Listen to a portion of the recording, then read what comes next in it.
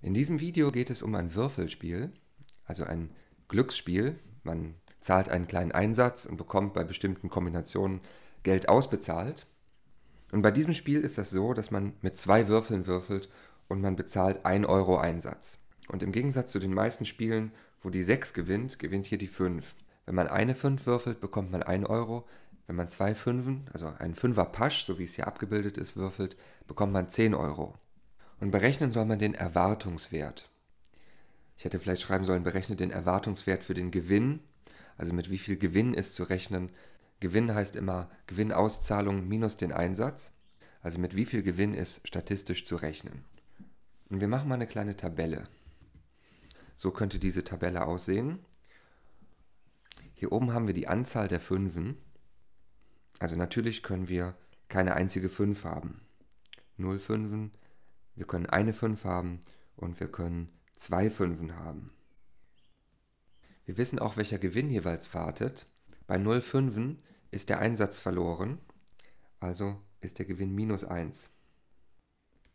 Bei einer 5 bekommt man 1 Euro, man hat allerdings 1 Euro bezahlt, also ist der Gewinn 0. Bei zwei Fünfen, man kriegt 10 Euro, hat einen bezahlt, also 9 Euro. So, wir fangen erstmal an mit der Wahrscheinlichkeit für zwei Fünfen. Wahrscheinlichkeit 2 mal 5 ist gleich. Der Würfel hat sechs Seiten und mit dem ersten Würfel eine 5 zu würfeln, haben wir eine Chance von 1 Sechstel. Beim zweiten Würfel genauso, auch ein Sechstel.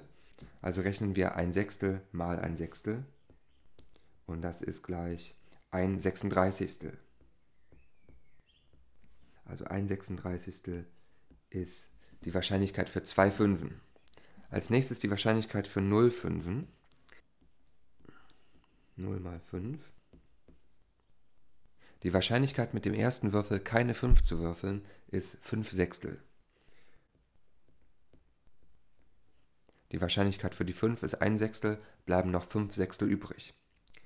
Beim zweiten Würfel genau das gleiche, auch 5 Sechstel, also 5 Sechstel mal 5 Sechstel.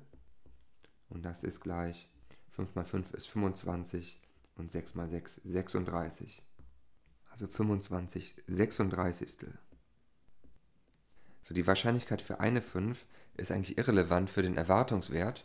Wir rechnen jeweils die Wahrscheinlichkeit mal den Gewinn also diese Zahl mal diese Zahl plus diese Zahl mal diese Zahl. Und wenn da 0 steht, mal 0 heißt, da kommt 0 raus. Also brauchen wir diese Zahl eigentlich nicht. Ich schreibe sie trotzdem dazu, ich mag das nicht, wenn die Tabelle so eine Lücke aufweist. Also die Wahrscheinlichkeit für 1 mal 5. Angenommen, der erste Würfel ist eine 5 und der zweite ist keine 5, dann wäre das 1 Sechstel mal 5 Sechstel. Und diesen Pfad im Baumdiagramm gibt es natürlich zweimal. Kann genau umgekehrt sein. Also würden wir sagen, das mal 2. Und das wäre 10 36. 10 36 oder 5 Achtzehntel. So, und wir haben alle Wahrscheinlichkeiten. Jetzt der Erwartungswert.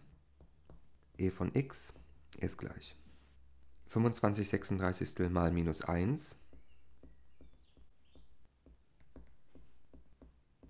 Dann plus, das brauchen wir nicht aufschreiben, 5 Achtzehntel mal 0.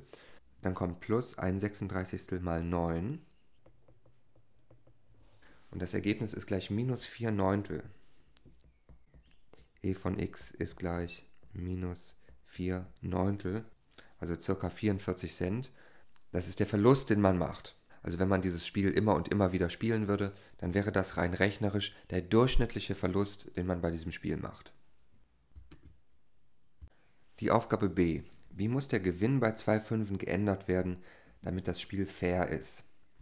Also wir schreiben mal statt der 9 irgendein Buchstaben, zum Beispiel A, A wie Auszahlung. Wir müssen aber auch noch den Einsatz mit einberechnen, also sagen wir A minus 1. Jetzt rechnen wir das Ganze nochmal. Also 25 36 mal minus 1 plus die mittlere Spalte können wir wieder ignorieren, mal 0 wird immer 0 rauskommen und dann 1 36. mal a minus 1. Und jetzt sagen wir, ist gleich 0. Wir wollen, dass das Spiel fair ist. Fair bedeutet, dass weder ein Verlust noch ein Gewinn zu erwarten ist. Rein rechnerisch.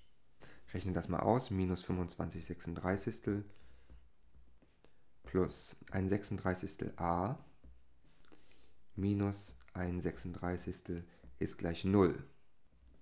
So minus 25 36 und minus 1 36 macht äh, minus 26 36. Die bringe ich dann auf die andere Seite und dann bleibt stehen 1 36 a ist gleich 26 36. Das dann geteilt durch 1 36 oder mal 36 und dann ist der Gewinn a gleich 26. Also statt 10 Euro müsste man 26 Euro bekommen, dass dieses Spiel fair ist. Das war's.